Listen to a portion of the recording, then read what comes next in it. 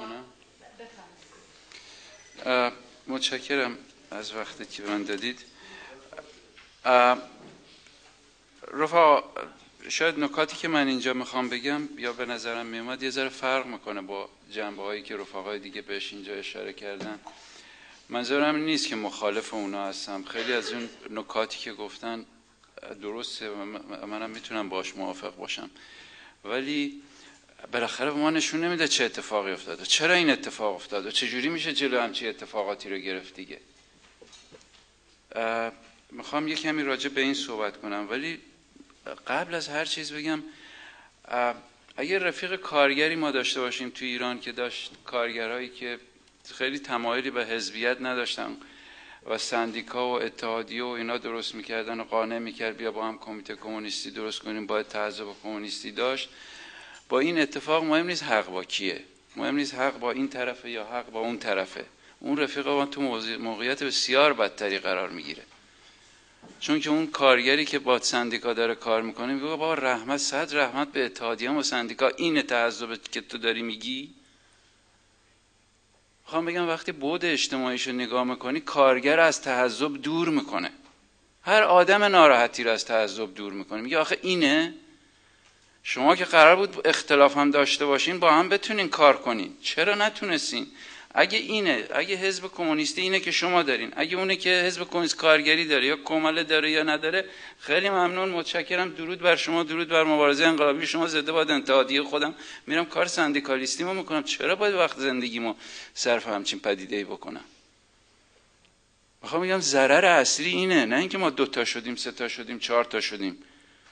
اگه اختلاف سیاسی روشنی بود معلوم بود من یه چیزی میگم شما یه چیزی میگی اون یکی یه چیزی میگه. بر سر این ما اختلاف پیدا کردیم و انشاب کردیم از هم. نه جرم نه, نه ابهامی به وجود میاره نه سرگیجه به وجود میاره. بالاخره طرف میگه این این خطش اینه اون خطش اونه من رو میرم با این یا میرم با اون. ولی این جور شکستنا فقط هم تو ما سابقه نداره. اقلیت و اکثریت اینجوری شکستن. عمل بخش ظاهرش بعد معلوم شد. این پلتفرم اون پلتفرم به خودش گفت اقل چیری اقلیت اکثریت. حزب کمونیست کارگری اینجوری شکست. کمال 4 5 تا شاخه شد به همین سیستم. یه سرنوشت مشترک به نظر میاد.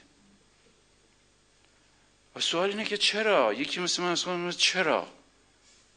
چجوری میشه جلو این پدیده رو گرفت؟ چجوری میشه مانع شد؟ چی شد که این اتفاق افتاد؟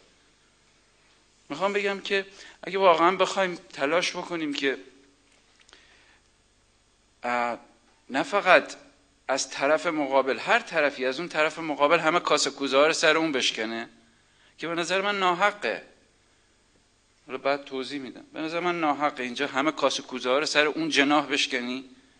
بگی مسئولش اونجا بودن فلان کردن بهمار کردن مقارات زیر پا گذاشتن فلان کردن یه طرف قهرمانه. به نظر من قهرمان این وسط وجود نداره. به نظر من این, این, این, این توضیح توضیحیه که می‌دونم ما رو راضی می‌کنه می‌دونم بهمون اعتماد به نفس میده می‌دونم احساس رفاقت تو ما زیاد می‌کنه می‌دونم احساس خوشبینی به خودمون تو خودمون زیاد می‌کنه. ولی کوتاه مدت فرقه‌ای غیر ابژکتیو علم. آخه بالاخره مارکس اینو آورد برای ما که تحلیل اجتماعی باید ابژکتیو و علمی باشه. درست مثل فیزیک. از هی نتونی توضیح بدی. هی خودتو با خودت توضیح بدی. نمیشه دلیل اینکه آفتاب چی میگن؟ آفتاب آمد دلیل آفتاب. آفتاب چرا بلند میشه؟ چون بلند میشه. خب این که توضیح نشد که.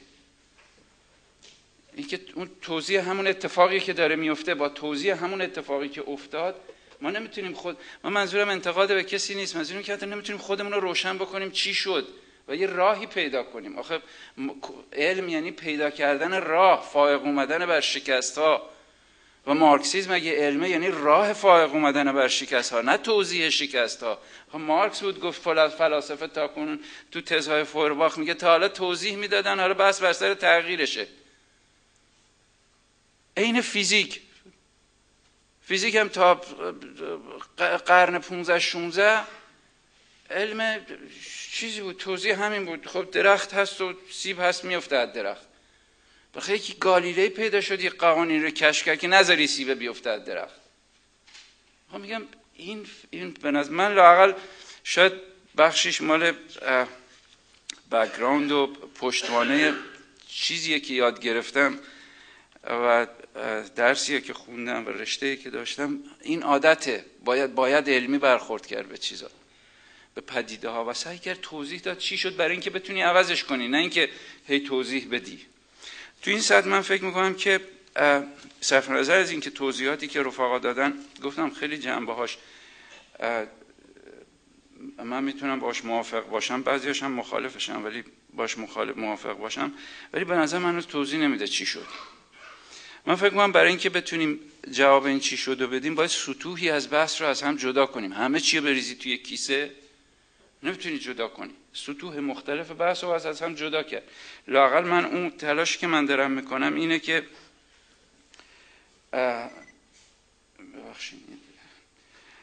تلاشی که من دارم می‌کنم اینه که یه سطوحی رو به اصطلاح چیز کنم. یه سطوحی رو از بحث بپوشونم که شاید کمک بکنه. فکر می‌کنم رهبر خوب فرمانده خوب و مسئول خوب کسیه که اول از همه مسئولیت شکستا رو با عهده می‌گیره. به گردن زیر دستیش نمیندازه. هر رهبری هر فرمانده هر مسئولی دیدین شما چرا این اتفاق افتاد گفت تقصیر زیر دستی ببینید خودش ایراد داره. و این تو اساسنامه ماست. هیچ رهبری حق نداره بندازه گردن زیر دستیش و به اضافه اینکه رهبر و مسئول خوب رهبر و مسئول خوبی که از شکست رو غم نمی‌گیره. سعی می‌کنه تجزیه تحلیل بکنه ازش درس بگیره. همونطور که از پیروزی ها میشه درس گرفت. پیروزی ها فقط جشن نیست درس گرفتن اینو بورژوازی داره به ما یاد میده. شکستاشون رو درس می‌گیرن از شکستشون تو تونس و لیبی درس گرفتن لیبی رو تونس و مصر درس گرفتن لیبی و سوریه رو برای شما خلق کردن. که تماما ضد انقلاب رو دارن به اسم انقلاب به خورد مردم جامعه میدن. ضد انقلاب ارتجاع خالص. سوار انقلاب خیلی جالب شده. خیلی شامورتی بازی جالبه. ضد انقلاب سوار چرخ سوار عرابه انقلاب شده. و اصلا داره خر خودشون میرونه تبدیلش می‌خواد بکنه به یه پدیده. به هر حال می‌خوام بگم این سطوح رو باید از هم جدا کرد. یه سطوحش اینه که چه اتفاقی افتاد؟ اولا این اتفاق چه جوری افتاد؟ آیا می‌شد جلوش گرفت؟ خیلی از رفقا فکر می‌کنن نمی‌شد جلوش گرفت. یا کوروش رفت یا بالاخره خورد خورد اومد یا سنت یه سری از رفقا این کار کردن یا اینجوری شد نمی‌شد جلوش گرفت. به نظر من اینطور نیست. حالا اشاره می‌کنم. چه کسی مسئوله؟ چه جوری باید از به اصطلاح تکرار اینا رو سختتر کرد؟ نمیگم غیر ممکن کرد. ولی سختتر کرد. این یه سطح از قضیه است. یه, یه, یه ماشین ماشین این سطح دیگه خیلی تکنیکیه. ماشینی دارین خراب کار می‌کنه. با تحلیل نمیشه گفت چجوری خراب کار می‌کنه. باید اون مکانیزمایی که خراب کار می‌کنه رو نشون بدیم بتونی ماشین رو درست کنی این اولی ت... اولی ت... ترین سطح یه تکنیسیان هم باید بکنه. یه سطح بالاترش اینه خب چرا این اتفاقات تو حزب تو چپ هی میافته؟ و چرا تو حزب ما اینجوری میفته اون وقت یه ساعت تحلیلیه که شاید تصمیم خاصی نداره خداگاهی رو تو ما ایجاد می‌کنه که باید مواظب چی باشیم و چه جوری میشه اینا رو تضعیف کرد. و یه بحث دیگه هم اینه که خب بعد از این کنگره باید چیکار کرد؟ اونم یه سطح دیگه از بحث به نظرم از هم جدا کردنشون کمک می‌کنه به اینکه بتونیم به اصطلاح مسئلهمون رو درست حل کنیم. برحال تو سطح این که این اتفاق چگونه اتفاق افتاد آیا مقدر بود؟ آیا می‌شد جلوشو گرفت؟ تو اینم من سعی می‌کنم به چند تا سوال جواب بدم. یکی این, این اختلاف نظر رو آیا می‌شد نتیجه اختلاف این این وضعی که به وجود اومد نتیجه اختلاف نظره؟ چون ما تو اختلاف نظر داشتیم یه طرف نظر بعد رفتار کرد اینجوری شدیم. این یه سطح. سوال دوم اینه که چرا مکانیزم های حزبی کار نکرد؟ و نکته دیگه که می‌خوام بهش جواب بدم بعد از همه این ماجراها آیا اقدام به اصطلاح اقلیت دفتر سیاسی برای کاری که کردن موجه بود یا نبود؟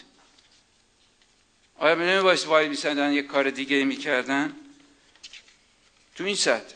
باید, باید راجع بهش حرف زد. آیا راه دیگه بود؟ و بالاخره تو این قسمت بحث چه تصمیمات کنکرتی باید گرفت؟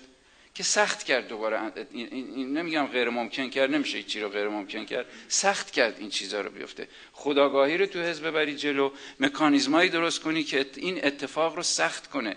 درست کردنش. ببینیم این که این, این اختلاف نظر اینو به وجود آورد نظر این جواب نیست چون این حزب ما بر پایه این که توش اختلاف نظر هست درست شد. و این حزب حزبی بود که مکانیزم هایی گذاشت که ضمن اینکه اختلاف نظر داشته باشی بتونی با هم کار کنی. و این مکانیزم ها رو تبدیل کرد به مقرراتی از تو همه احزاب چپ. دارن میگن که حزب تعدد نظر و وحدت اراده تئوری کشکی فلانیه گروش مدرسی آورده. نمیشه باید حزب یه نظر داشته باشه. نمیشه توش تعدد نظر باشه.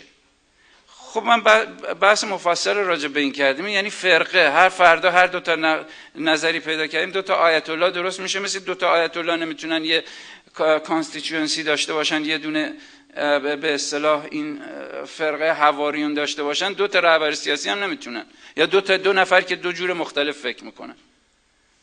تجزیه میشه به اینو می‌خوام بگم این به نظر من اینطور نیست. به نظر من دلیلش اینه که یه بیتوجه تو این سطح فعلا میگم بیتوجهی بیتوجهی مطلق به مقرراتی که سرمایه مقررات حزبی که سرمایه طبقه کارگر بی همون اندازه که که تئوری و یا سیاست و برنامهش سرمایه طبقه کارگر بیتوجهی مطلق و شریک شدن کل کمیته مرکزی تو زیر پا گذاشتن این مقررات.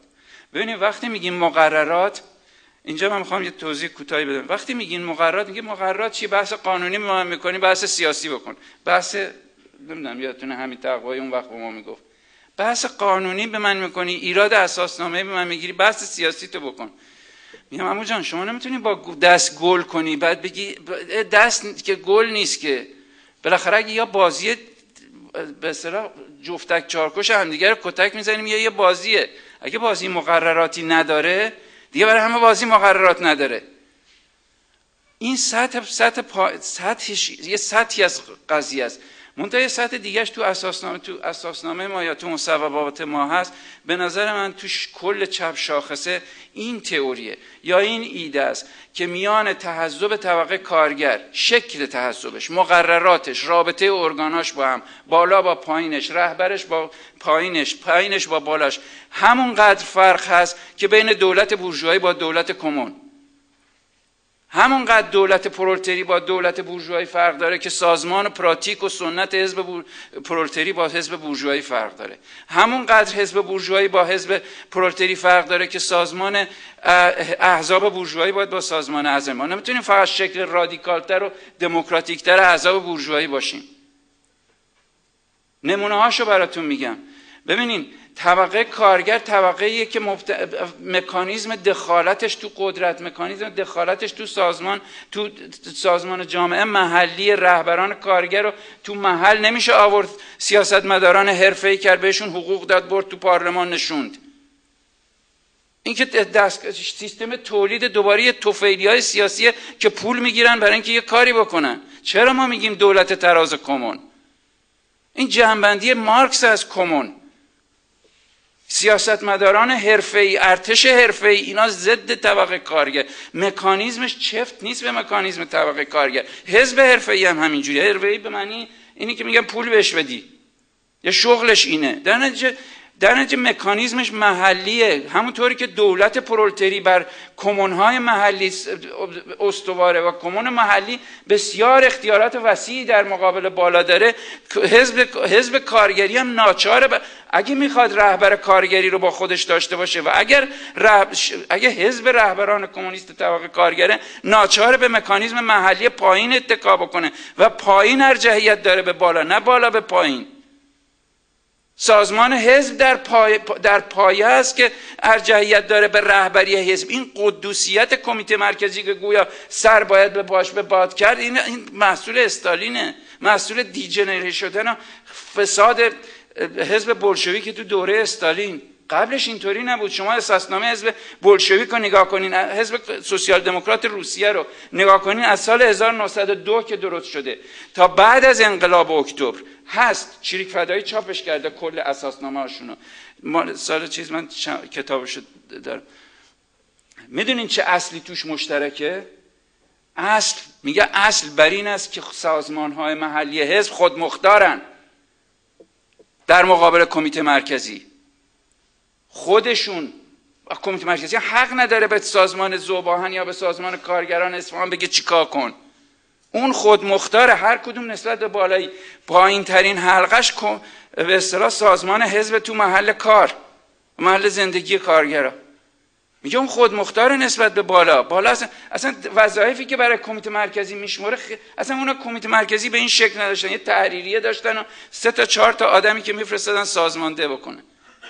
این قدوسیتی که یه بالایی درست شده و باید از بالا گویا باید رهبران نمی‌دونم چیه رهبران خیلی متعالی اون بالا نشستن و پایین و توده ها رو مثل رابطه که با پایین توصیف می‌کنن یا مثل رابطه به اصطلاح دستگاه های متمرکز دولت بورژوایی یا بد تو بدترین حالتش شبیه حوزه علمی است. بین آخونده بزرگ با توده آیت الله با توده آخونده کوچیک با طلبا. این این تئوری سازمان حزب کمونیستی نیست. اصلا کارگر نمی‌تونه توش بیاد. کارگرم توش بیاد به عنوان عمل اکره بالای حزب میاد توش که اونم از یه جا دیگه حقوقشو داره می‌گیره. سازمان حزب کمونیستی همونقدر برای تئوری سازمان حزب کمونیستی همونقدر برای حزب کمونیستی یا برای, برای حرکت کمونیستی هویتیه که برنامهش که فلسفهش که همه چیز دیگهش.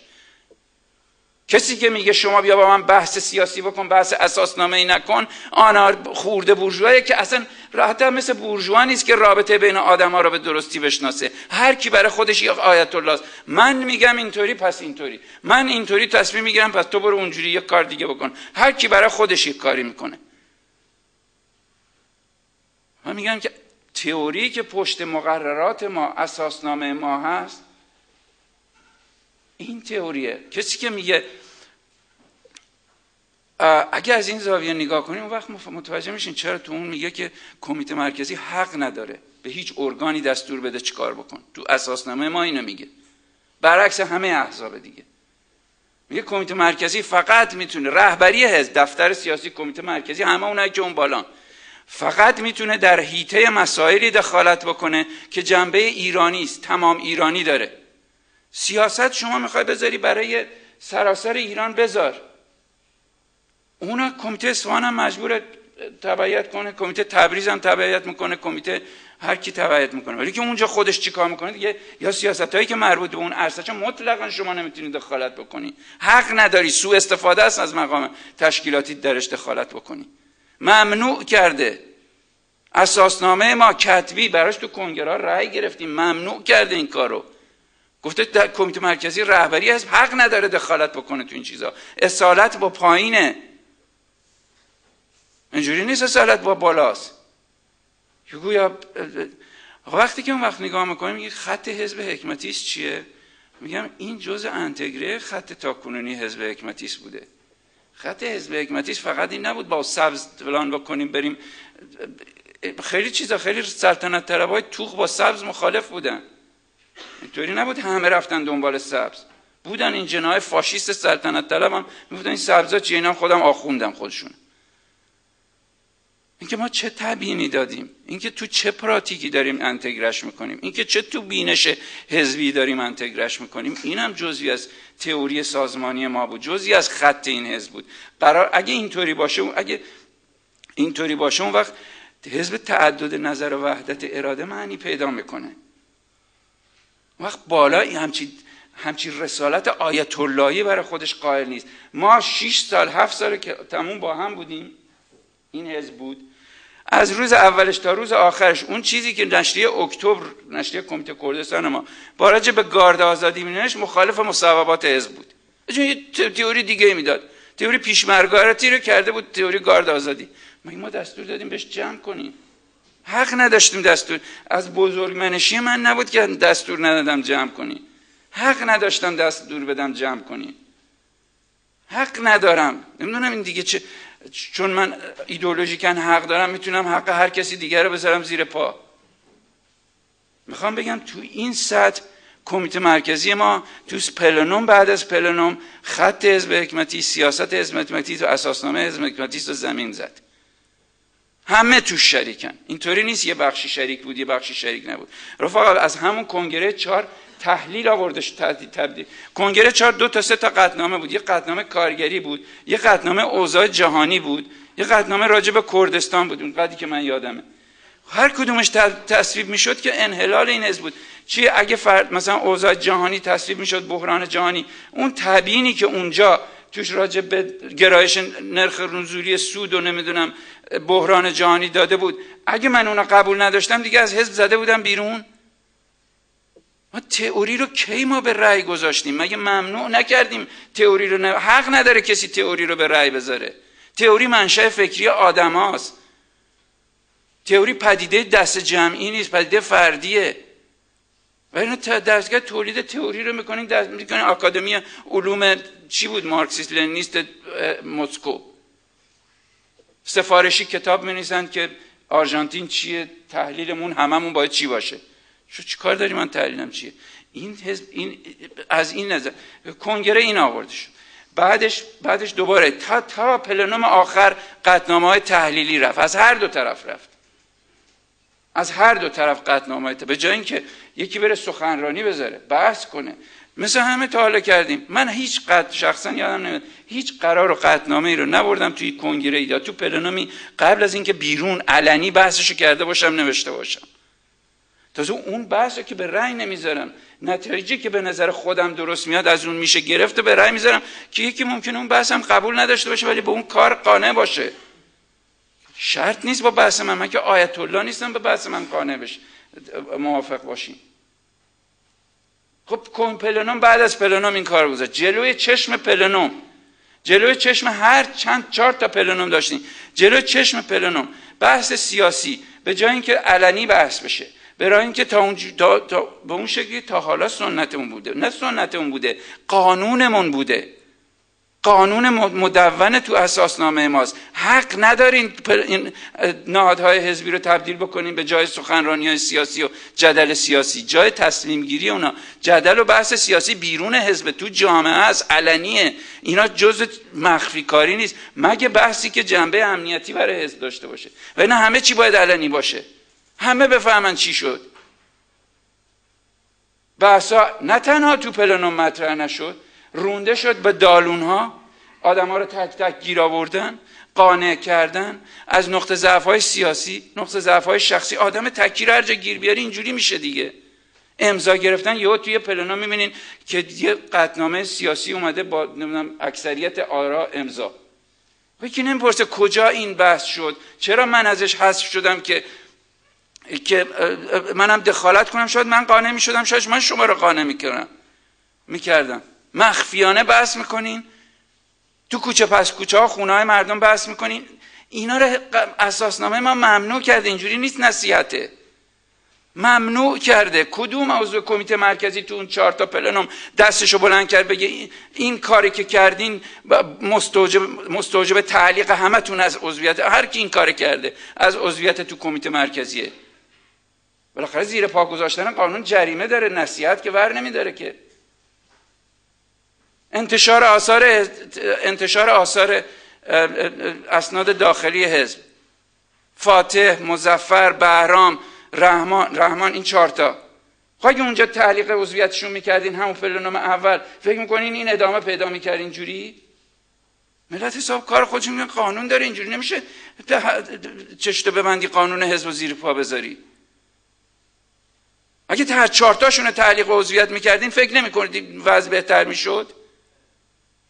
فکر نمی‌کردین کمیته مرکزی خودش رو جمع می‌کرد می‌شد نمیشه تو حزب نمیشه اینجوری شلنگ تخت انداخت توی حزبی که قانون داره. ولی واقعیتش اینه که باش راه آمدین باش راه آمدین یعنی سازش کردین. اون بخشی که کمیته مرکزی کلا از سرمایه خرج کرد که سرمایه خودش نبود مال حزب بود مال کنگره بود که ما این سرمایه رو بهشون سپردیم بردن خرجش کردن. یه سر سوزنی کار به انگیزه هاشون ندارم. اصلا تردیدی. انگیزه های هر دو طرف ها. انصافا دارم میگم. حق نداشتین شما این سرمایه حزب بفروشین. مگه اموال شخصیتونه شما گذشت می‌کنین از مقررات حزبی؟ وظیفتون شما حفظ اساسنامه حزب بود. به این اعتبار کمیته مرکزی توی چهار پلنوم وظیفه پایه‌ایش که حفظ و حفظ از سیانت و اساسنامه و برنامه و مصوبات کنگره زیر پا گذاشت. آگاهانه زیر پا گذاشت. و یعنی اون روزی که دستور جمع کردن نشریه حزبی از یکی از یکی از مقامات حزبی میومد همون روز میبایستید از کلیه مسئولیت ازش سلب می‌شد و تعلیق عضویت می‌شد از عضویت کمیته مرکزی. حالا می‌دیدی بقیه چقدر جدی می‌گرفتن کمیته مرکزی رو. کمیته مرکزی دستش انداخت گردن هم سازش کرد. از چی سازش کرد؟ به هم می‌خوره. خب معلوم شد اگه قانون نداشته باشی به هم می‌خوره. نه اینکه قانون داشته باشی. اقلا اون وقت معلوم می‌شد یه عده رفتن به خاطر اینکه میگن اینا تند به ما برخورد کردن. ما خلافی کردیم تند برخورد کردن. خب میگم به چه حقی؟ من به عنوان یه نفر تو کنگره تو کنگره های حزب بوده. یا تو کنگره قبلی یک کمیته مرکزی انتخاب کردم که بره از اساسنامه حزب و برنامهش پایداری بکنه. کی به اعضای این کمیته مرکزی حق داد سر اینا سازش بکنه؟ از همه اعضای یه نفر پا شد اونجا تقاضای توبیخ همون کسایی که خطا پشت سر خطا خطا پشت سر خطا. وقتی می‌دونی سرطان وقتی که اولی قده کوچیکه ساده میشه باش مبارزه کرد. وقتی زد تمام جواره تو گرفت دیگه نرم نرم سلول سرطانی نرم فعالیت بدنت میشه. شما نمی‌تونی بگی آخر سر اینجوری شد. میگم از اول کمیته مرکزی با این پدیده کنار اومد. حتی من تقاضا کردم ازتون. از پلنوم نامه نوشتم. گفتم هر کی خطا مثال آوردم از از کارایی که برام و مزفر و رحمان و فاتح کردن. گفتم اگه برخورد تشکیل برخورد شدید تشکیلاتی به اینا نکنین حزبی نمیمونه. میپاشه. اگه بالاش اینجوری باشه آخه حزب نمونه ماهی از کله میگنده. رفقا این نبود بلد نبودن تصمیم گرفتن اساسنامه حزب خودشون زیر پاش بذارن. شریک جرم همراه جرم دیگه. بهش میگن شریک جرم. می‌خوام کرده باشین می‌خوام نکرده باشین. می‌خوام میگم اگه درسی از این باید بگیریم درسی از این پدیده بخوایم باید بگیریم درسی اینه که کمیته نه کمیته مرکزی هیچ کمیته حق نداره. سر اساسنامه حزب سر مصوبات کنگره هاش سازش بکنه. بفروشه معامله کنه. حالا شما آرام باش ما این کار می‌کنیم. به جای این کار ریاکاری رو باب کردیم تو حزب. این کار باید نمیگم آگاهانه ها از سر تمام دلسوزی. لطفا هیچ بار انگیزه ای سوار این بحث من نکنین. از سر تماما دلسوزی. رفتیم یه انتخاباتی که توی پلنوم که رفیقی میگه که من اصلا به هیچ هفت سال گذشته حزب عقیده ندارم. اساسنامه ما میگه که کسی که به سیاست های چیز عقیده نداره نمی‌تونه خودشو کاندید رهبری بکنه که قرار اونا رو اجرا بکنه. ممنوع کرده. پلنوم بهش رأی میده. پلنوم بعدترش معلوم میشه که حزب اصلا دو تیکه شده اصلا تیکه پاره شده. بازم برای آروم کردن طرفی که بیشتر از این یکی طرف داره به اصطلاح اساسنامه رو زیر پا می‌ذاره. آرایش حزب عوض می‌کنن می‌دونن می‌رسه به رأی گیری که خب شما سیاست زدی زیر فرش تو اون دوتا رأی گیری قبلی. ولی ها رو که نمی‌تونی بزنی زیر فرش. می‌زنه بیرون خودشو. می‌خوام بگم که از نظر من پلنوم ما, ما دفتر سیاسی اینا نمی‌شناسیم. اینا همه تقسیم کارهای درونی خود کمیته مرکزی هن. ما به عنوان اعضای کنگره فقط فقط کمیته مرکزی رو می‌شناسیم. می‌خواستن اینجوری تقسیم کار نکنن. یه جور دیگه مجبور بودن بکنن. عوض نکردن می‌کردن. اونا تقسیم کار درونی خودشونه. ما یه کمیته مرکزی انتخاب کردیم که بتونه حزب رو نگه داره و نظر این اتفاقات توش بیفته. اون کمیته مرکزی با سر حزب زمین زد. همشون مسئولن. قهرمان این وسط وجود نداره. همشون مسئولن. و یکی من یه مجموعه قراری نوشتم. یه نسخهشو میدم خدمتتون. اگه بعدا چیز کردین که این کنگره باید رسما اگه یه حزب درست حسابی بود از نظر من یه حزب درست حسابی بود همه اعضای کمیته مرکزی که تا حالا عضو کمیته مرکزی بودن برای 6 ماه از عضویت تو حزب معلق می‌کرد.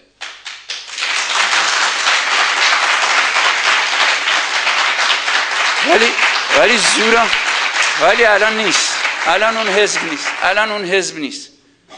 ولی الان حزبی هست که این کنگره تصمیم بگیره که کلیه اعضای کمیته مرکزی از علل بدل تا اصلی رو توبیخ رسمی می‌کنه و بهشون اختار می‌کنه. یه بار دیگه مقررات حزبی رو زیر پا بذارن اخراجشون می‌کنه از حزب.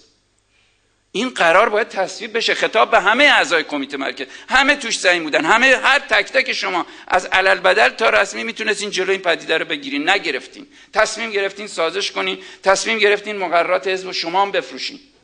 حق ندارین بفروشین. کسی حق نه. کی به کمیته مرکزی حق داده بره از قول من مقررات حزب بفروشه؟ به نظر من باید لاقل باید کمیته مرکزی رو توبیخ کرد. همشون رو باید توبیخ کرد. و این رو پروندهشون. چه اون طرف موندن چه این طرف موندن چه هر جا استفاده دادن که استفاده داده رفته چیزش نیست. و نه این یعنی درجه آماتوریزم تو کمیته مرکزی ما تکون دهنده است. درجه آماتوریزم تکون دهنده است. که کمیته مرکزی که باید بالای حزب بگردونه میاد از بالای حزب خط می‌گیره. می‌دونم سنته.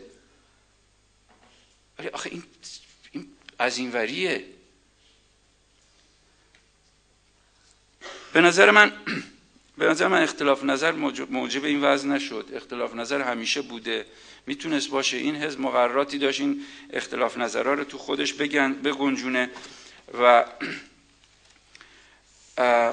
و و دلیل این که این اتفاق افتاد نمی‌تونی لحظه آخرش فقط نگاه کنی. فیلم اولش رو باید ببینی.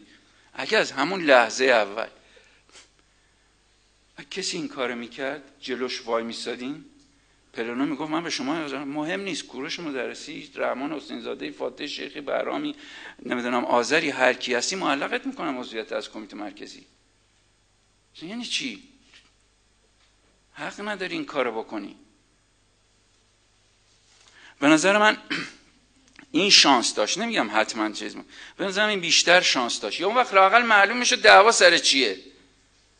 الان اصلا مطلقا معلوم نیست دعوا سر چیه.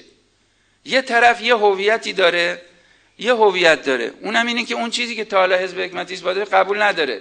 چی قبول داره؟ بازار آزاد حالا باید معلوم کنه ظرف شش ماه آینده. تو پروسه تحولیه. این طرف هم کوچیک شده اینجوری. به این شکل در اومده. کوچیک شده این حزب. ضربه خورده. و باید, باید ازش درس گرفت و به نظر من کمیته مرکزی ما باید این کارو بکنه. و باید کلا بحث میگم یه بحث مفصلتری راجع به بحث تحزب کمونیستی بحث نوع سازمان تئوری سازمان کمونیستی کمونیستی مناسب برای طبقه کارگر باید یه جا دیگه مفصلتر کرد. ولی به نظر من به نظر من این قدوسیتی که سنتا الان تو همه احزاب چپ کمیته مرکزی و رهبری ها دارن دوره استالین به بعده قبلش نبودم چه چیزی. کی شما تو لامای لنین می‌بینی؟ کمیته مرکزی به شما دستور میده این کارو بکن. مثلا اینجوری ارگان یه دفتر سیاسی داشتن. مثلا اینجوری چیز نداشتن. دفتر سیاسی داشتن یه مجموعه معمور که می‌رفتن از جانب کمیته مرکزی یه کارهایی تو تشکیلات محلی می‌کردن. تازه اونجا اون وقت تشکیلات محلی چیز داشتن. هیئت تحریریشون هم موضع روزمره سیاسیشون رو تعیین می‌کرد. اون موضع رو چجوری عملی می‌کنید؟ دیگه کار تشکیلات محلیه بود. کنگره با کنگره جمع می‌شدن ببینن حالا چه چیزی باید عوض کن این محصول بعدشه به نظر من. کلا باید این سیستم رو شکوند. اصلا از بالا تکونش داد و اصالت به نظر من اصالت تو پایینه. این تز آنارشیستی آنارشیستیه ولی همون قدر آنارشیستیه که کمون پاریس آنارشیستی بالا حقانیت در مقابل پایین نداره. پایینه که می‌تونه بالا رو عوض کنه. توی محدوده ای دولت, دولت کارگری غیر متمرکز به دلیل سازمان طبقه کارگر. حزب کارگری هم غیر متمرکز به علت سازمان طبقه کارگر. شما نمی‌تونید کارگر زبان ورداری بیاری کمیته مرکزی بکنید تو تهرونش هم نمی‌تونی بیاری. چه برسی بیاری؟ ورش داری بیاری؟ خارج کشور. اینجوری نیست که در تو نمی‌تونی حزبی درست کنی که برای رهبریش همینجوری نشستی یه آدم سیاسی کار حقوق بگیرن حرفه‌ای به این معنا. اینا رو باید عوض کرد اینا رو باید بحث کرد. اصالت به نظر من اصالت با پایین این تو تئوری دولت پرولتری هست این تو تئوری تئوری سازمان کمونیستی طبقه کارگر هم هست. و باید یه درجه زیادی از پروبالی که سنت تو اساسنامه ما همچین اباحتی کمیته مرکزی نداره. اصلا اختیارات بسیار محدودی داره. اون چیزی که تو اساسنامه هست. تا سنت ما با خودش آورده. طرف کمیته مرکزیه. کمیته زبان خیلی مهمتره. عضوی به نظر من کمیته زبان خیلی مهمه. مهمتره. اگه کمتر نباشه. اگه مهمتر نباشه کمتر نیست. این این این قدوسیت و این مثل پشمک همه مودارن اینو باید یه ذره کات کرد سلمونیش کرد. قیافه درست متناسبی به این مقوله کمیته مرکزی داد. دیگه همه یه قولایی شدن هر کی برای خودش یه آیت اللهیه من دستور میدم به تو این کارو بکن. تو خود من دستور میدی. اصلا همچی حقوقی نداری به من دستور بدی این کارو بکن. از م... اگه این دستور بدی از موقعیتت سوء استفاده کردی. اینو تو جامعه بورژوایی می‌برن دادگاه. شما نمی‌تونی همچی دستوری بدی. آیت الله که نیستی فتوا صادر کنی علیه من. به حال این خواستم اینجا این نکته رو تاکید چقدر من وقت من رفا من خیلی کوتاه. در نتیجه ما یه مجموعه در نتیجه ما من نظرم از دلیل به وجود اومدن این ماجرا اینه که کمیته مرکزی ما خودش مبتکر زیر پا گذاشت. همشون. من آدم نمیشستم همشون اون مجموعه. وقتی نگاه می‌کنی مبتکر زیر پا گذاشتن اصول سازمانی یا ندیده گرفتنش سازش کردنش. مثل پلیسی که میره با یه با یکی که خطا کرده حالا خودشون هم خیلیشون خطا کردن. در حالی که داره تمام پیچ و مورای حزب باز میشه ما رفتیم بحث می‌ذاریم راجع به بورژوازی در ایران. آیا در ایران تخم بیشتر تولید میشه یا ماشین؟ خب می‌دونم این بحث مهمه. ولی آدم آدم خیلی باید از ماجرا نبینه چیه. تمام می پیچ و مورا داره باز میشه از هم. همه حرف شده. ماشینه دیگه کار نمی‌کنه. ما سر تحلیل این که نمیگم اون تحلیل غلطه اصلا بحث همین نیست. ولی اصلا نامربوطه به اون ماجرا.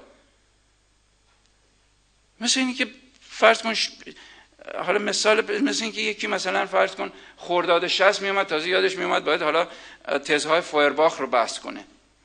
نمیگم تزهای فویرباخ غلطه ولی نامربوطه به اونجا. به جای اینکه حزب رو بچسبیم به جای اینکه از ماشین حزبتون دفاع بکنید به جای اینکه از هویت کارگری حزب کارگری سازمان حزبتون من بحث من اینه میگم هویت هویت سازمانی آرایش سازمانی تئوری سازمانی یه حزب همونقدر باید کارگری باشه که تئوری سیاسیش.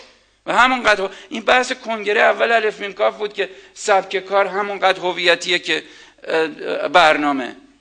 و ازش بحث کمونیسم کارگری در اومد. حالا دیگه جواب اساسنامه به حال من این نکته این نکته بود.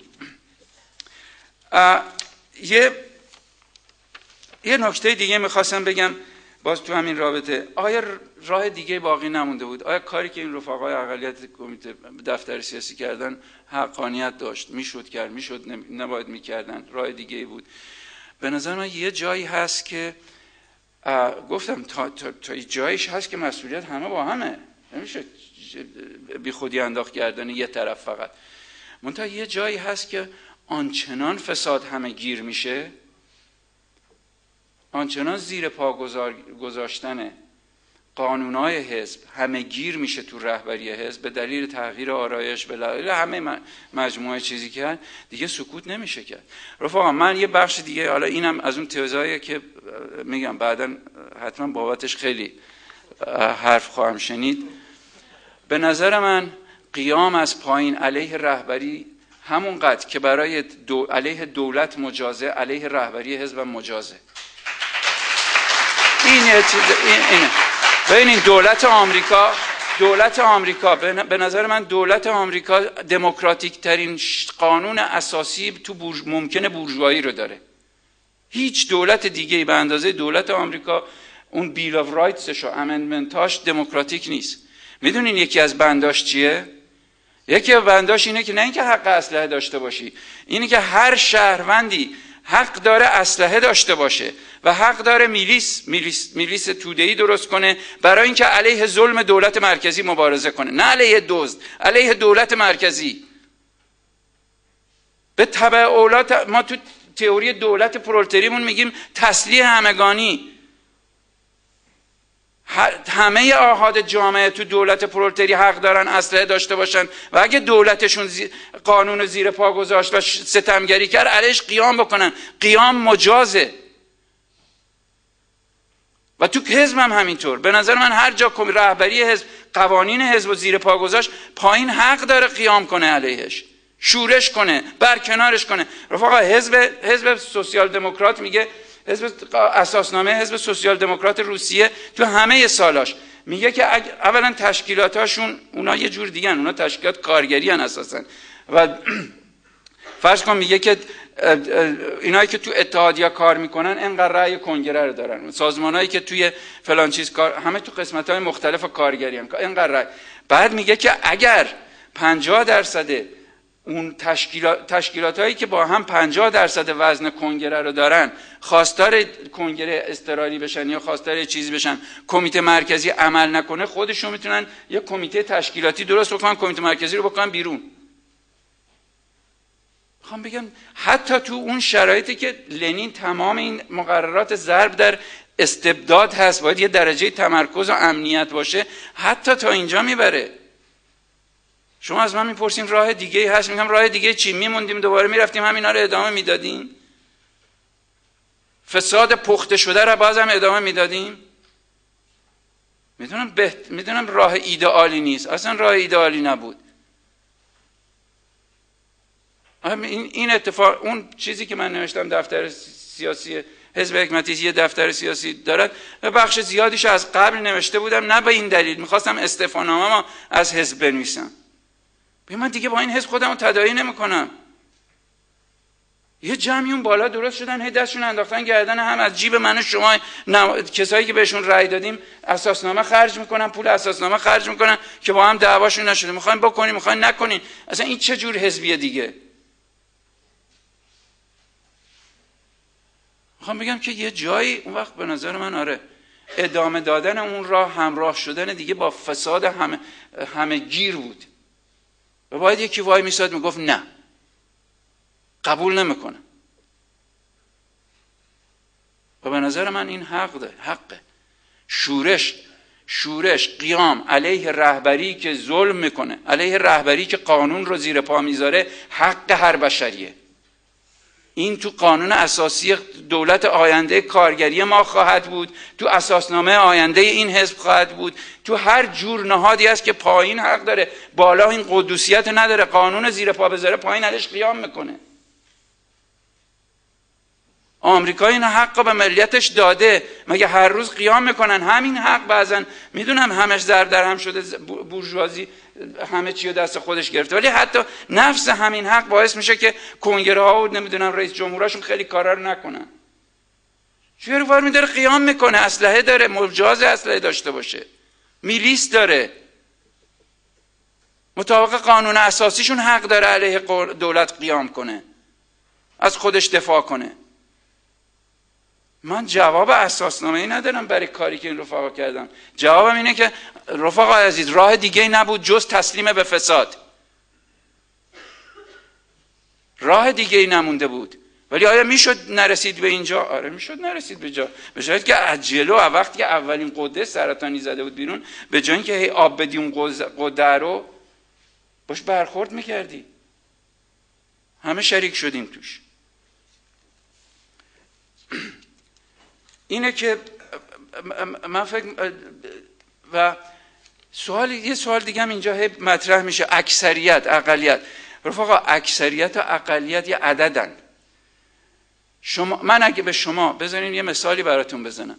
من اگه به شما نشون بدم اگه یه نفر بیاد به من و شما نشون بده که اولا تو انتخابات گذشته جمهوری اسلامی انتخابات رئیس جمهور واقعا نماینده های سازمان ملل نماینده ما هم برن همراهشون. معلوم بشه که اکثریت اونایی که حق رأی دارن تو ایران توی انتخابات شرکت کردن. فرض کنیم و نشون بدن که اکثریت به احمدی نژاد یا موسوی رأی داده. این اکثریت به نظر شما قانونیه؟ پروسه رسیدن به اکثریت مهمتر از خود عدد شمردن است. یارو تو پروسه رسیدن به اکثریت من شما رو حذف کرده. هرچی اختناق زده بعد حالا اکثریت شده. می‌خوام بگم که حتی این دیگه پرولتری نیست. این بورژوازی میگه که میگه که دموکرات معیارهای دموکراتیک یه ارزش ها از فقط قانون نیست. هر کی رأی آورد. باید توی پروسه باشه که بحث آزاد باشه. همه بتونن نظراتشونو بگن. همه بتونن نظرات مخالف و موافق بشنون. بعد تصمیم بگیرن. شما میرید تو خونه یارو تا گوش بیخ گوشش حرف می‌زنی من از خصف می‌کنی از اون از اون پروسه؟ اکثریت چی؟ اکثریت غیر قانونیه اصلا اکثریت چی هم؟ چی؟ اکثریت باید کرد بیرون. اکثریتی نیست. مگه من اکثریت خامنه ای رو قبول می‌کنم؟ مگه قبول کردم اکثریتی اینکه مردم ایران 90 درصد رأی دادن به جمهوری اسلامی آریانه رأی دادن دیگه. ما که اون وقت بودیم. اکثریت عظیمی رأی دادن جمهوری اسلامی. آره. ما گفتیم درسته. یارو نمیذاش تو حرفتو بزنی بگی چرا نه جمهوری اسلامی؟ نه.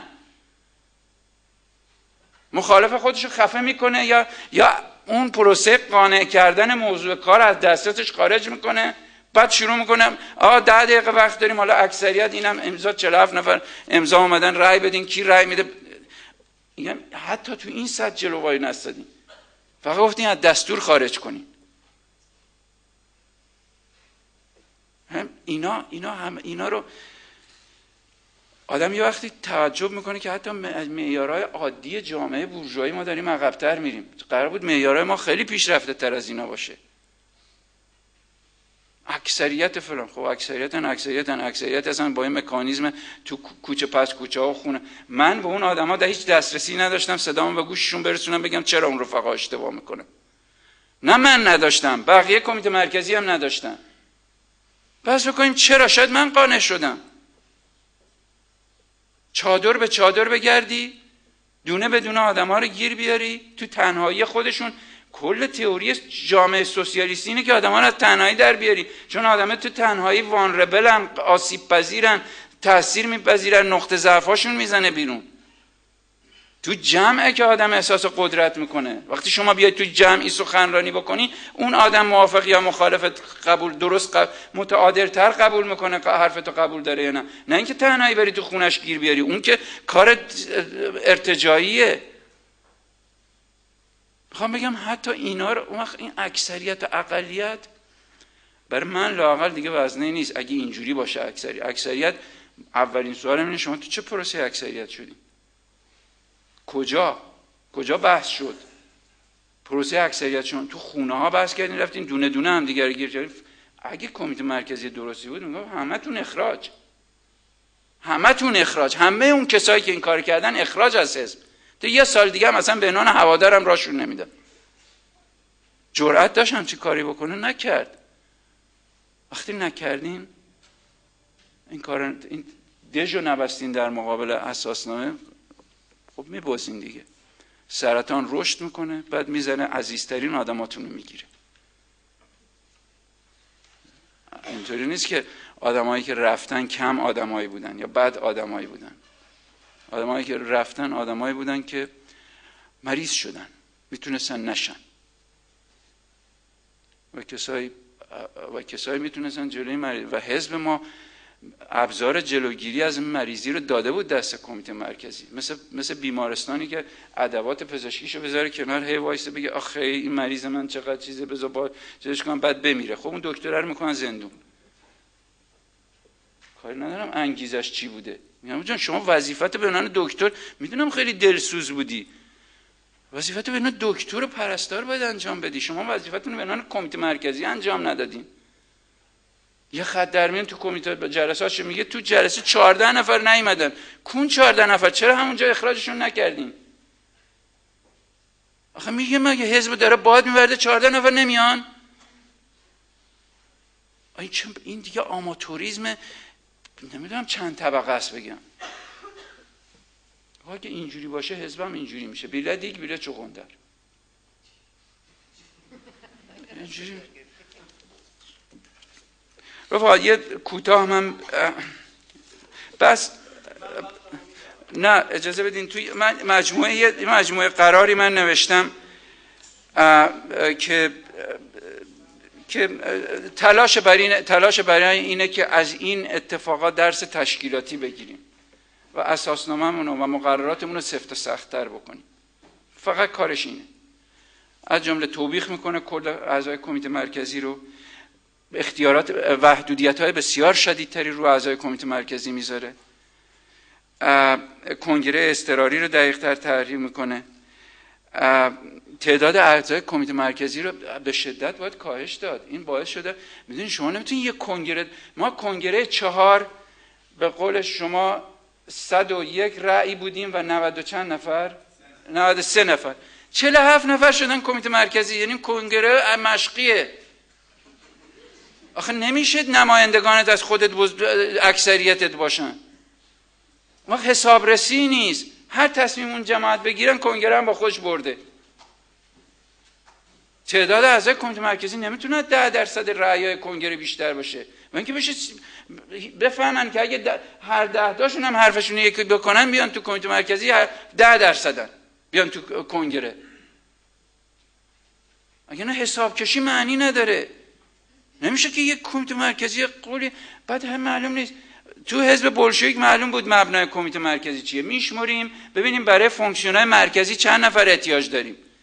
پنج نفر برای تحریریه سه نفر به عنوان اون وقت بهشون می‌گفتن مامورین کمیته مرکزی مروش سازمانده ها که ما بهشون میگیم. می‌رفتن مثلا تفلیس اونجا کمیته تشکیلات حزبی درست میکن وقتی تشکیلات درست می‌شد این دیگه رو پای خودش بود. مامورین کمیته مرکزی بودن که اعزام می‌شدن به داخل.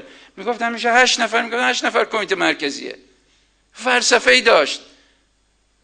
ما می‌دونم هممون این کار کردیم. منم رأی دادم به اینا ولی با همه این خیرخواهی باعث شده که کمیته مرکزی ما مثل این جنرال های آفریقا هست میرن از سمساری هی مدال می‌خرن به خودشون آویزون می‌کنن. نمی‌دونم دیدین عکس ما هم هممون هی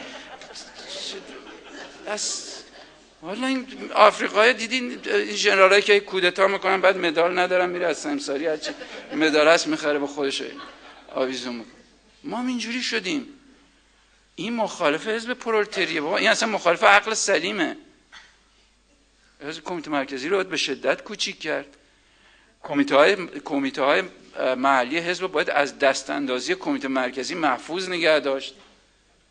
حق نداره دخالت بکنه و مینیموم مجازات. باید یه کمیسیونی درست کرد اینا تو این پیشنهاد است یه کمیسیونی درست کرد که فقط کارش اینه که به شکایات از اعضای کمیته مرکزی رسیدگی می‌کنه. و هر شکایتی رو وارد دونست مینیموم تنبیه تشکیلاتی برای اون عضو کمیته مرکزیت سلب کلیه مسئولیت ها و تعلیق از عضویت حزب تا کنگره بعدیه اون مینیمومه. و اینکه نمی‌تونی از بالا تو اگه از بالا بذاری زیر پا پایین شورش می‌کنه. که کرد؟ می‌خوام بگم که از این جمله چیزا حالا اگه وقت یه ساعت دیگه از بحث هست که الان دیگه من واردش نمیشم. امیدوارم یه دورای بعدی تو این ساعت وارد اصلا چرا ما این وضع پیدا می‌کنیم؟